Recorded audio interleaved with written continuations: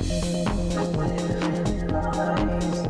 Hello and welcome back to Mallorca for what is the last day of warm weather training. Well, I say warm weather, it's pretty cold and overcast out here today, so pretty much getting us ready for the flight back to the UK. But before the players can even think about that, there is, as you can see going on behind me, one final training session for them to navigate. Still no Frank Lampard outside with the main group. He continues to do some work on his own as part of the rehabilitation from that torn calf muscle suffered at the weekend.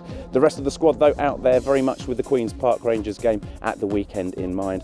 And their itinerary from here on in is that they will go back to the hotel after today's training session, albeit very briefly, for a bite to eat. Then it's off to the airport for the flight back to London. Then one more training session back at Cobham tomorrow ahead of the game on Saturday. Well, join us for Blues News at half six for plenty more from this final day in Mallorca, plus much, much more. We'll see you at half past six.